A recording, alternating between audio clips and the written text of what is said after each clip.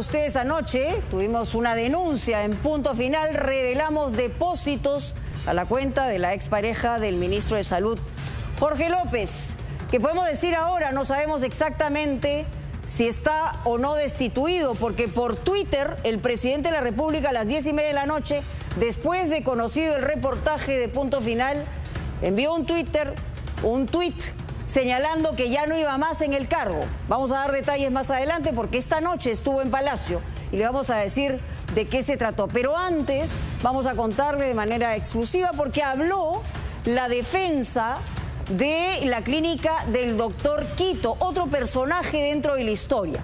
¿De qué estamos hablando aquí?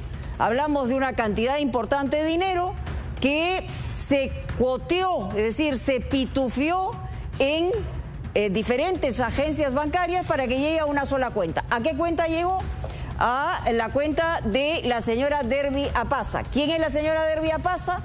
Es la expareja del titular destituido de salud.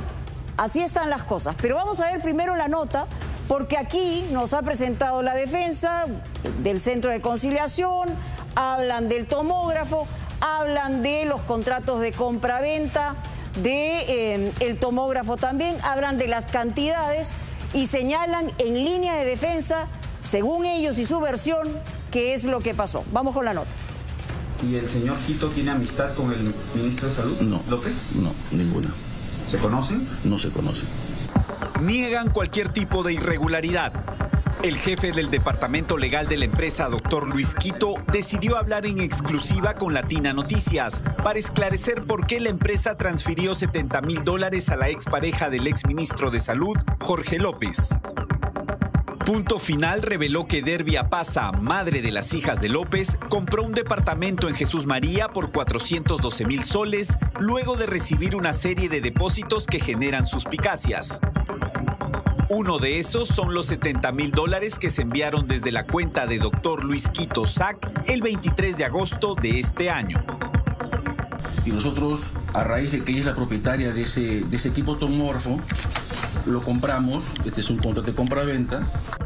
Firmado el 22 de agosto, este escrito señala un acuerdo entre doctor Luis Quito Sac y Derbia Pasa la empresa se compromete a pagar 67 mil dólares por un equipo de tomografía y otros 3 mil por uno de imágenes de rayos X.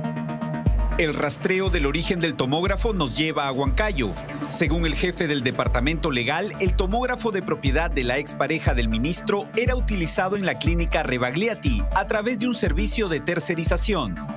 Nos dan un dato por ahí ligero y se manda un administrador para que vaya a averiguar, haga los contactos, las tratativas. Esta persona se entrevistó con la señora, llegaron un entendimiento y se firmó el documento para lo cual el doctor ya viaja para cerrar el, para cerrar el negocio.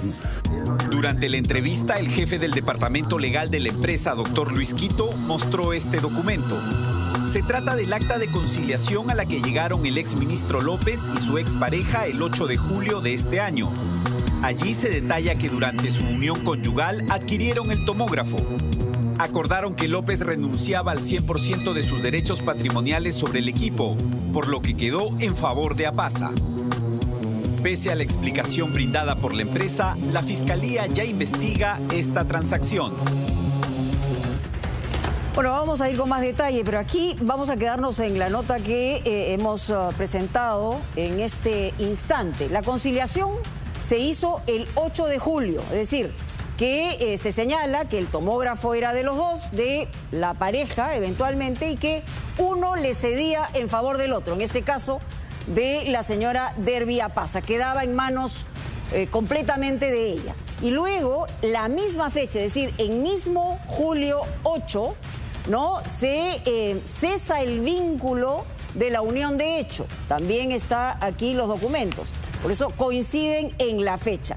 Y luego el, el contrato de compra-venta, que eh, llega además por un dato de allegados del doctor eh, Quito, que incluso viajan a Huancayo para eh, realizarlo, se concreta en agosto. ¿Por qué son importantes estas fechas? Estas fechas son importantes porque los depósitos que finalmente se hicieron, que coinciden con las cantidades de las que estamos hablando, se hizo al final el 31 de agosto. Es decir, Coinciden los dos primeros documentos, el 8 de julio y el tercer documento en agosto. Vamos ahora sí